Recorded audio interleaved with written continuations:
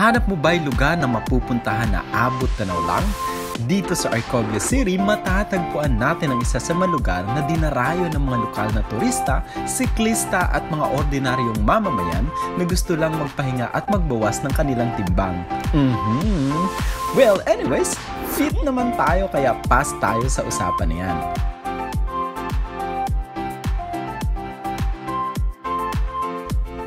Dapat, isa na ito sa mga bucket list mo this year.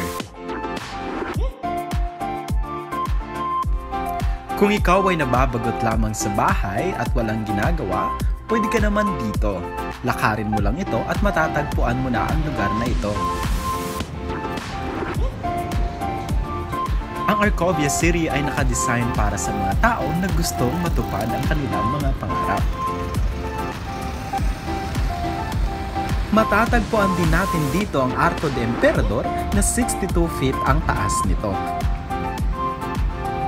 Inspired ito mula pa sa Arco de la Victoria ng Madrid. In a statement, Pagan said, The angels together with the animals and the emperador form a symbolic group sculpture group that is unique here in the Philippines.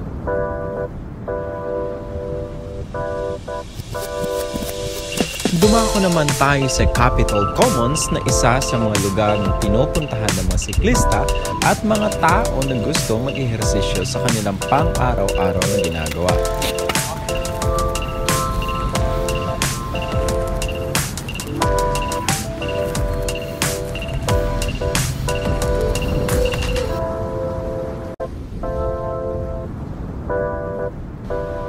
Ang Capitol Commons ay may lawak na 10 hektarya at matatagpuan ito sa Meralco Avenue Ortigas na dito lamang sa Pasig.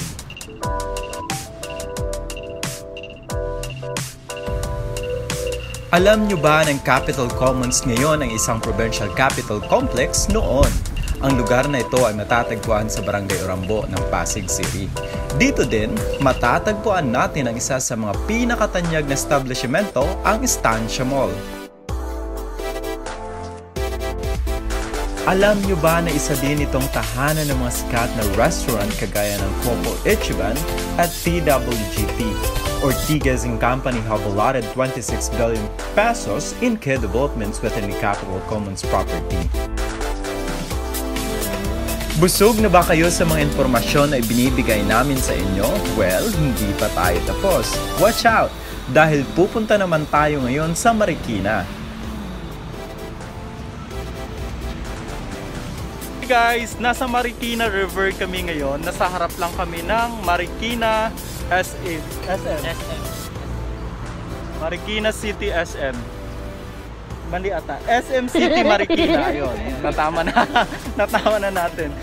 Um, dito, isa sa mga magaganda dito sa Marikina River is pwede kang makapag-jogging, pwede kang makapag Makapag-bike. bike. Ayan sila nagbabike ko. So yun. So, isa pa sa mga, mga magaganda dito kasi yung maaliwalas yung ano nila, yung lugar nila. Tapos ano pa ba yung napapansin mo? Um, malinis talaga dito. Ah, Oo. Hindi katulad sa. Napaka-disiplina ng mga tao dito kahit na nung nasalanta sila, tulong-tulong silang gumawa ng paraan para malinis yung ano yung. Yung lugar. Ayun. Isa yun sa mga magaganda dito. Kaya pag pumunta ka dito, kailangan din panatilihing malinis yung lugar. Pag kumain ka, may plastic kang dala, kailangan ilagay mo lang din yun sa bulsa mo. So pag nakakita ka ng basurahan, doon mo lang siya itatapon. So isa yun sa mga magaganda dito sa Marikina. Yeah. Pag nakikita ninyo, um, yung river nila, yung ilog nila, sobrang malinis. Hindi siya kagaya sa ibang ilog.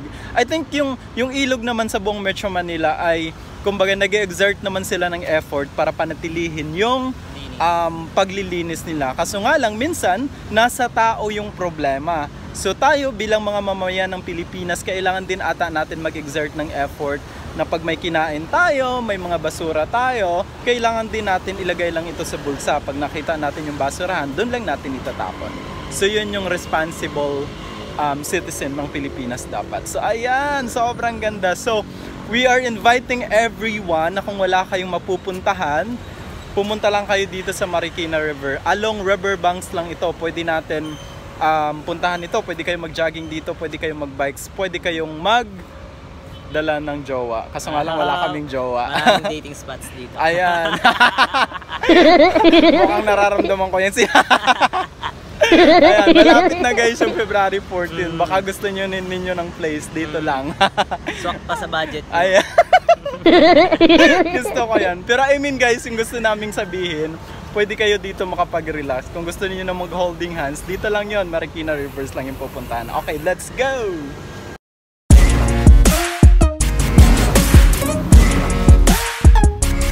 Go, go,